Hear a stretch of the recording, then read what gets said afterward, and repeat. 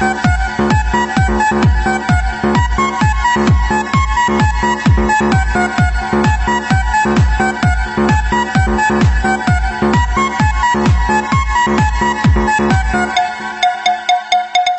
नमस्कार तपाईँ सुन्दै हुनुहुन्छ रेडियो पूर्वेली आवाज अन्ठानब्बे बिन्दु चार मेगा हर्च कार्यक्रम चार खालका कुरामा स्वागत छ। यो कार्यक्रम तपाईँले प्रत्येक शनिबार बेलुकी आठ बजेदेखि आधा घण्टासम्म रेडियो पूर्वेली आवाज अन्ठानब्बे बिन्दु चार मेगा हर्चमा सुन्न सक्नुहुन्छ। साथै तपाईँले हामीलाई W dot radio Purveli dot ORG dot एनपीमा विश्वभर सुन्न सक्नुहुन्छ। कार्यक्रममा तपाईँले कुनै एक प्रख्यात व्यक्तिको बारेमा जानकारी पाउनुहुनेछ त्यस्तै विश्वमा भएका अनौठा तर सत्य घटनाको बारेमा पनि। त्यसपछि पन्ध्रवटा सामान्य ज्ञान सम्बन्धी जानकारी र अन्त्यमा तपाईँले भर्खरै मात्र रोजगारीका अवसरहरू कहाँ कहाँ खुलेका छन् यो पनि थाहा पाउन सक्नुहुनेछ। कार्यक्रम लिएर उपस्थित भएको छु म अनिल बराल र मलाई प्राविधिक रूपमा पल्लव भण्डारीले साथ दिँदै हुनुहुन्छ। अब हामी जान्छौँ कार्यक्रमको पहिलो खण्डतर्फ। प्रख्यात व्यक्तिको जानकारी।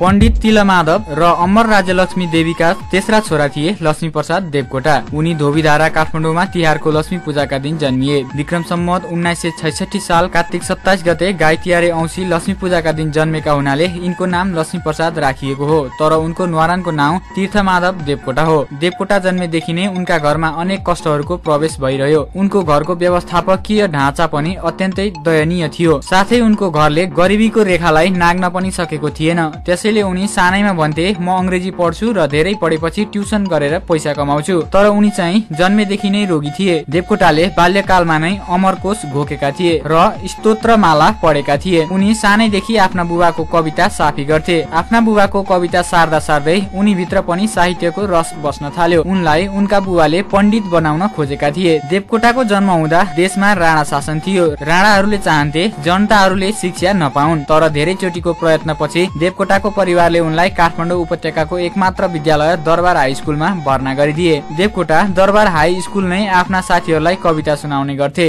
उनका प्राय साथीले ती कविता देवकोटाले नै लेखेका हुन् भनेर स्वीकार्दैनथे। यसै क्रममा एक दिन सबै विद्यार्थी मिलेर यिनको बेइज्जत गर्ने हिसाबले कविता लेख्ने परीक्षा लिए। यिनले पनि सबै विद्यार्थी माझ कविता लेखे अनि त्यसै गरी शिक्षकहरूले उनलाई कोपिलाउँदो कविको दर्जा दिए। सन् उन्नाइस सय पच्चिसमा देवकोटा त्रिचन्द्र कलेजमा विज्ञान विषयमा भर्ना भए। विज्ञानमा प्रमाणपत्र तहको अध्ययन पूरा गरेपछि उनी मानविकी संकायमा सरे। सन् उन्नाइस सय आफ्नो स्नातक तहको अध्ययन पूरा गरेपछि सन् उन्नाइस सय छात्रवृत्ति लिएर अङ्ग्रेजीमा स्नातकोत्तर पढ्ने आशामा उनी भारतको पटना गए। अङ्ग्रेजी विषयमा स्थान नपाएपछि उनले कानुन पढे। देवकोटा बहुमुखी र विपुल लेखक थिए जसले आफ्नो छोटो जीवनमा नछोएको साहित्यको कुनै विधा छैन। उनले महाकाव्य लामा वर्णनात्मक कविताहरू निबन्धहरू कथाहरू नाटकहरू गीतहरू र समालोचनाहरू लेखेका छन्। कविता पढे जस्तै अनुभव हुने देवकोटाका निबन्धहरू शैली र विषयवस्तुका लागि एकदमै प्रशंसा योग्य छन्। देवकोटाद्वारा लिखित वियोगान्त नाटक मुना मदन यिनी मरेको पाँच दशक पछिसम्म पनि अत्याधिक बिक्री हुने कृतिमा पर्दछ। मुना मदन नेपाली जनजीवनमा भिजेको पहिलो नेपाली कृति हो। देवकोटाले केही समय त्रिचन्द क्याम्पसमा प्राध्यापन पनि गरे। यिनी एकपटक नेपालको शिक्षा मन्त्रीसम्म भएका थिए। यिनैको पालामा त्रिभुवन विश्वविद्यालयको स्थापना भएको थियो। देवकोटासँग कविताहरू एकदमै चाँडो लेख्ने अद्वितीय प्रतिभा थियो। उनले शाकुन्तल महाकाव्य तीन महिनामा सुलोचना महाकाव्य दस दिनमा र कुञ्जिनी एकै दिनमा लेखे। उनले नेपाली साहित्यलाई नयाँ उचाइमा पुर्याए। मुना मदन प्रचलित लोक भाकामा लेखिएको कृतिले नेपाली साहित्यमा संस्कृतको प्रभाव अन्त्य गर्यो। पागल कविता उनको अर्को महान कृति हो जुन कवितामा उनले आफूलाई पागल भन्नेहरूलाई कवितात्मक शैलीमा जवाफ दिएका छन्। र नेपाली भाषा साहित्यमा देवकोटा रुमानी प्रवृत्ति लेखनका श्री गणेश भए। साथै नेपाली भाषा साहित्यलाई अङ्ग्रेजी भाषा साहित्यमा अनुवाद गरेर सर्वप्रथम पश्चिमी मुलुकमा पुर्याउने काम पनि देवकोटाबाट नै भएको थियो। भारतीय महापण्डित डाक्टर साङ्कृत्यायनले भनेका थिए मैले देवकोटालाई बुद्ध पछिको सबैभन्दा ठुलो मानव अवतारका रूपमा लिएको छु। उनले देवकोटालाई भारतमा जल्दा बल्दा तीन कवि जयशङ्कर प्रसाद सुमित्रा नन्दन पन्त र सूर्यकान्त त्रिपाठी निराला बराबर एकजना देवकोटा हुन् भनेका थिए। देवकोटा चौध भाषा बुझ्दथे। उनीद्वारा नौ भाषामा लेखिएका कविता कथाहरू शारदा मासिक मार्फत जनमाझ पनि आए। देवकोटालाई काव्य सागरका जल देवता भने पनि हुन्थ्यो। उनी उठ्दा बस्दा हिँड्दा सुत्दा खाँदा वा आफ्ना चेतन र अचेतनका कुनै पनि पलमा काव्य भन्दा बाहिर हुँदैन थिए बिहान आँखा उघारेदेखि राति आँखा चिम्ले पछिको स्वप्न संसारमा पनि उनी काव्य संसारमा नै विचरण गर्थे। उनको बाँचुन्जेलको साथी एउटा कविता थियो र अर्को चुरोट। लेखेका बेला उनी आफ्नै पाण्डुलिपि बालेर चुरोट सल्काएको र त्यसैले सिगान पुछेको पनि चाल पाउँदैन थिए पन्ध्र वर्षको उमेरमा मनदेवी चालिसेसँग लक्ष्मी प्रसाद देवकोटाको विवाह भयो। विक्रम सम्मत उन्नाइस सय पचासीमा उनको पहिलो सन्तान छोरी सावित्री र उन्नाइस सय उनानब्बेमा जेठो छोरा प्रकाश जन्मिए। माइला छोरा कृष्ण प्रसाद देवकोटाको जन्म विक्रम सम्मत उन्नाइस सय त्रियानब्बेमा भएको थियो। कानूनमा स्नातकको उपाधि हासिल गरेपछि उनी आफ्नो घर फर्के जहाँ उनले विभिन्न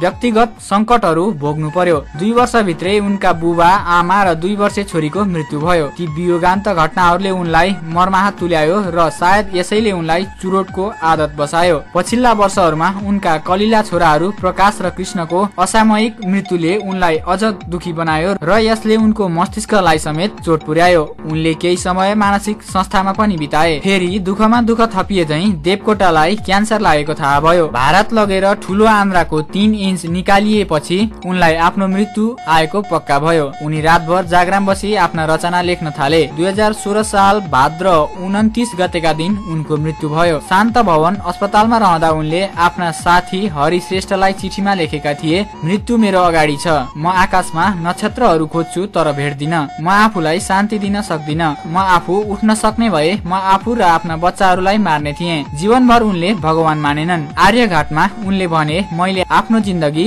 हरिनाम नजपेर नास्तिक भएर बिताउँछु। अब जान आँटिहाले। अनि उनले जीवनको शाश्वत आध्यात्मिक कुरा कविता मार्फत यसरी व्यक्त गरे संसार रूपी सुख स्वर्ग भित्र रमेर माएली भित्र चित्र सारा भयो त्यो मरुभूमि तुल्य रातै परे झै अब बुझ्छु बल्ल रहेछ संसार निशा समान आएन जिउँदै रहँदा नि ज्ञान आखिर श्री कृष्ण रहेछ एक न भक्ति भो ज्ञान न भो विवेक महामरुमा कण झै मतातो जलेर मर्दो बिनुआ सलाटो सुकिरहेको तरु झै छु खाली चिताग्नि तापी जलडाम नफाली संस्कार आफ्नो सब नै गुमाए म शून्यमा शून्य सरी बिलाए।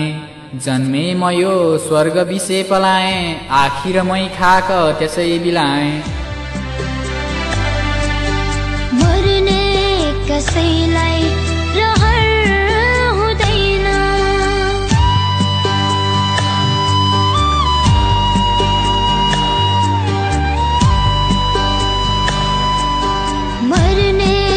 कसैलाई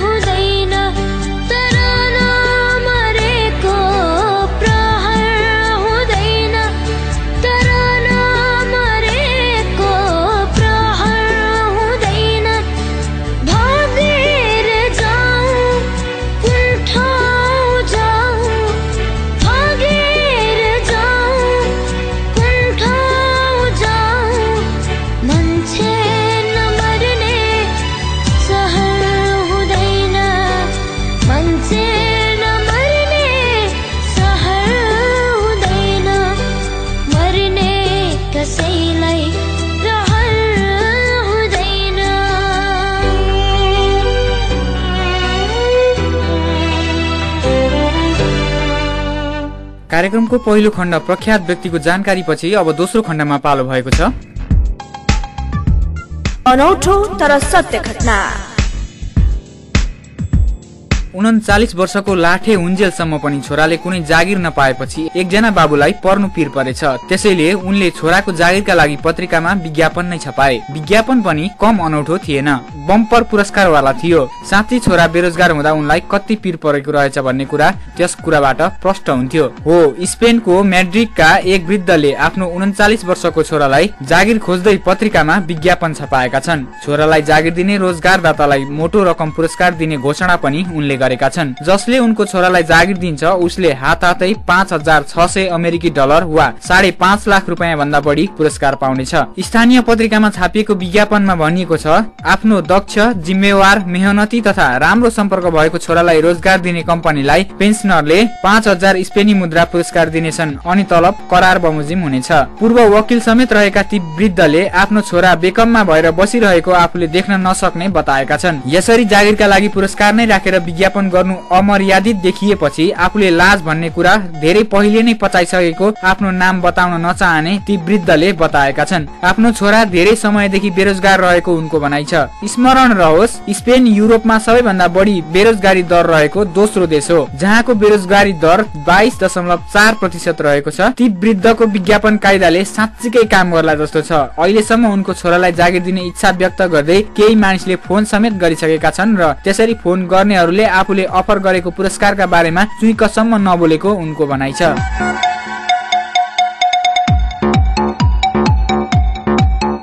स्पेनमा भएको यो अनौठो तर सत्य घटनापछि अर्को अनौठो खबर रहेको छ हाम्रै छिमेकी मुलुक राष्ट्र चीनको। सयौं यात्रुको ज्यान आफ्नो हत्केलामा लिएर ठूलो जिम्मेवारीका साथ जहाज उडाउने पाइलटको सानो लापरवाहीले भयंकर दुर्घटना निम्त्याउन सक्छ।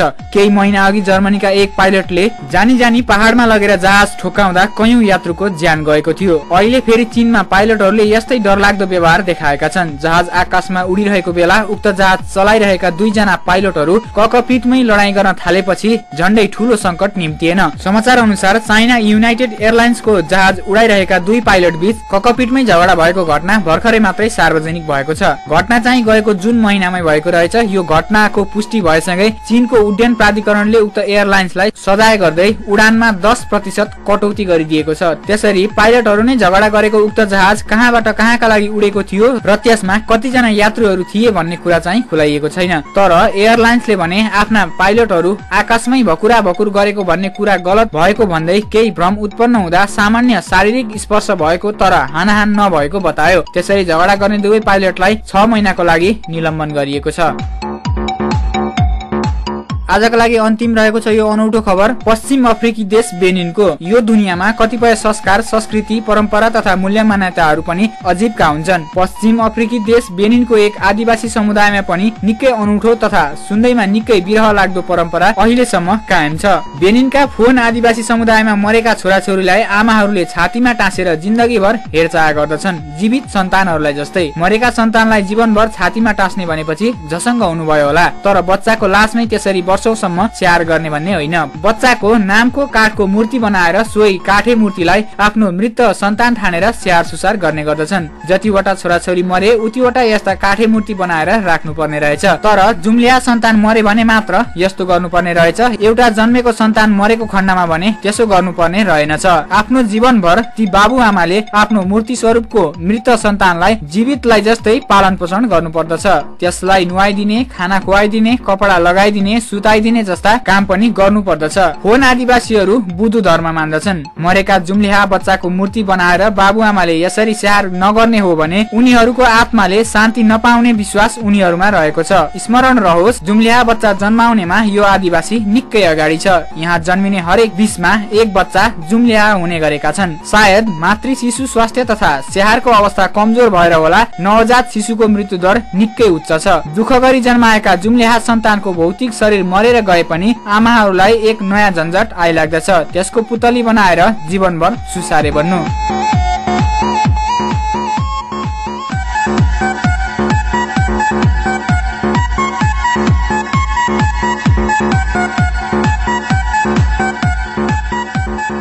विश्रामपछि पुनः स्वागत छ। तपाईँ सुन्दै हुनुहुन्छ रेडियो पूर्वेली आवाज अन्ठानब्बे बिन्दु चार मेगा कार्यक्रम हो चार खालका कुरा। विश्राम अघि हामीले एकजना प्रख्यात व्यक्तिको बारेमा जानकारी र अनौठा तर सत्य घटनाको जानकारी सकिसकेका छौँ। अब पालो भएको छ कार्यक्रमको तेस्रो खण्डको। तेस्रो खण्डमा रहेको छ।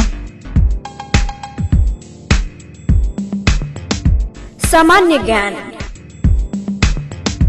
क्वेसन नम्बर विश्वको सबैभन्दा ठुलो सहारा मरुभूमि कुन महादेशमा पर्दछ? अफ्रिका महादेश।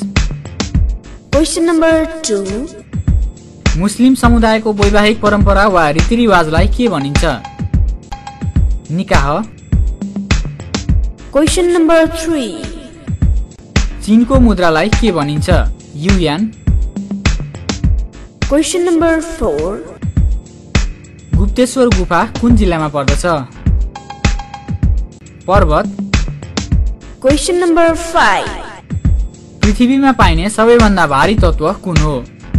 युरेनियम। क्वेसन नम्बर सिक्स नेपालको दोस्रो अग्लो हिमाल कुन हो?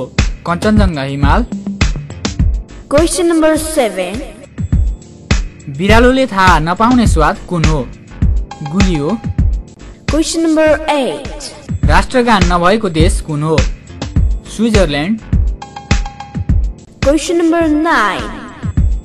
नेपालको पहिलो साहित्यिक पत्रिका कुन हो? Sudha Sagar. Question number ten. अन्तर्राष्ट्रिय लोकतन्त्र दिवस कहिले पर्छ? सेप्टेम्बर पन्ध्र। Question number eleven. सार्कको प्रतीक चिन्ह बनाउने कलाकार को हुन्? Shailendra Maharjan. Question number twelve. नेपालमा सबभन्दा पहिला बजेट प्रस्तुत कहिले भएको थियो? विक्रमसम्म दुई हजार आठ माघ एक्काइस गते। Question number thirteen. एसिया र अफ्रिका महादेशलाई छुट्याउने नहर कुन हो? सुवेज नहर। Question number fourteen. विक्रम सम्मत दुई हजार अडसठीको जनगणनामा कतिवटा मातृभाषा सूची भएका छन्? एक सय तेइस नेपालले सर्वप्रथम कुन देशमा राजदूतावास खोलेको थियो? बेलायत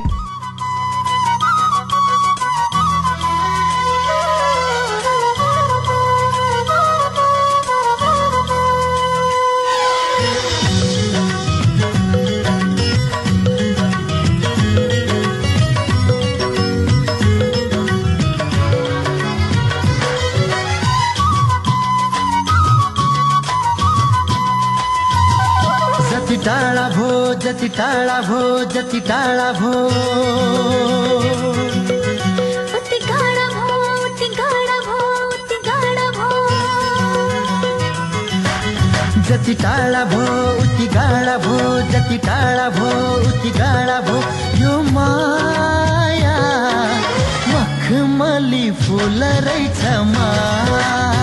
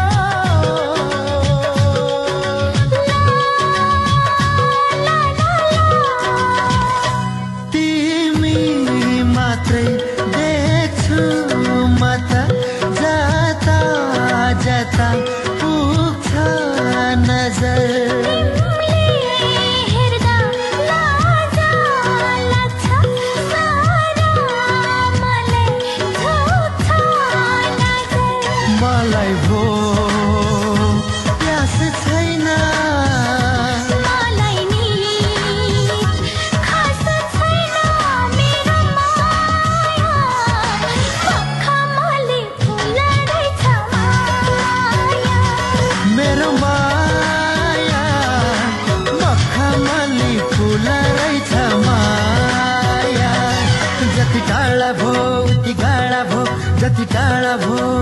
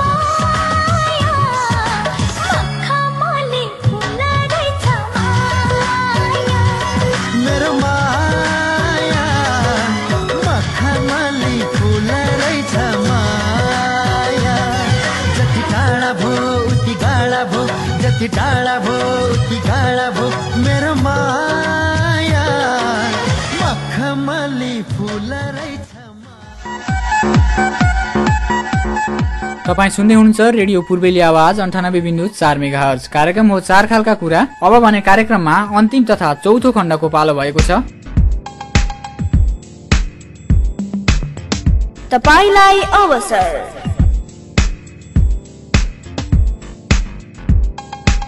नेपाल सरकार अर्थ मन्त्रालय युवा तथा साना व्यवसाय स्वरोजगार कोषको स्वयंसेवक पदमा आवश्यकता रहेको छ। पद रहेको छ स्वयंसेवक। आवश्यक पद संख्या रहेको छ आठ जना। प्रत्येक जिल्लाका लागि एक एक जना काम गर्नुपर्ने जिल्लाहरू रहेका छन्। पाँच थर शङ्खुवा सभा ओखलढुङ्गा दोलखा रसुवा बागलुङ दाङ र हुम्ला। न्यूनतम शैक्षिक योग्यता रहेको छ। मान्यता प्राप्त शिक्षण संस्थाबाट प्रवीणता प्रमाण पत्र तह वा सो सरहमा न्यूनतम पचास प्रतिशत अङ्क ल्याई उत्तीर्ण गरी न्यूनतम एक वर्षको कार्य अनुभव भएको हुनुपर्नेछ।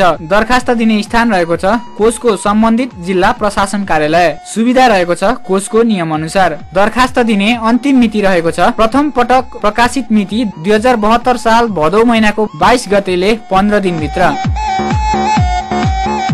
त्यस्तै अर्को आवश्यकता सम्बन्धी सूचना रहेको छ। पूर्वाञ्चल विश्वविद्यालय संकाय डिनको कार्यालय विराटनगरको। यस विश्वविद्यालयको विज्ञान तथा प्रविधि संकायको आङ्गिक क्याम्पस पूर्वाञ्चल विश्वविद्यालय school of engineering and technology विराटनगरको लागि सहायक प्राध्यापक भौतिक शास्त्र एकजना सहायक प्राध्यापक समाजशास्त्र एकजना सहायक प्राध्यापक अङ्ग्रेजी एकजना र मुख्य सहायक प्राविधिक चारजना तथा कला र शिक्षा शास्त्र संकायको आङ्गिक क्याम्पस विराटनगर स्थित जनता आदर्श बहुमुखी क्याम्पसमा सञ्चालित बिएड बिएसडब्ल्यू कार्यक्रमतर्फ नेपाली विषयको एकजना बिएसडब्ल्यू शैक्षिक कार्यक्रमतर्फ सोसल वर्क वा काउन्सेलिङ विषयको एकजना र जनसङ्ख्या तथा विकास केन्द्रमा सञ्चालित पिआरडी कार्यक्रमको लागि एकजना सहायक प्राध्यापक करार सेवामा नियुक्ति गर्नुपर्ने भएकोले योग्यता पुगेका नेपाली नागरिकहरूबाट सूचना प्रकाशित भएको मितिले पन्ध्र दिनभित्र यस पूर्वाञ्चल विश्वविद्यालय विज्ञान तथा कला र शिक्षा शास्त्र संकाय डिनको कार्यालय विराटनगरमा आइपुग्ने गरी दरखास्त आह्वान गरेको छ। यसको विस्तृत जानकारीका लागि तपाईँले W W W dot PURBUNIV dot EDU dot एनपीमा हेर्न सक्नुहुनेछ। तपाईँ सुन्दै हुनुहुन्छ रेडियो पूर्वेली आवाज अन्ठानब्बे बिन्दु चार मेगा हर्ज कार्यक्रम हो चार खालका कुरा। हवस् त आजलाई कार्यक्रम सकियो। सुनेर साथ दिनुभयो तपाईँलाई धन्यवाद। प्रविधिमा साथ दिनुभयो पल्लव भण्डारी तपाईँलाई पनि धन्यवाद। अर्को हप्ता शनिबार बेलुकी आठ बजीसम्मका लागि म अनिल बराल पनि बिदा हुन्छु। नमस्कार शुभरात्रि।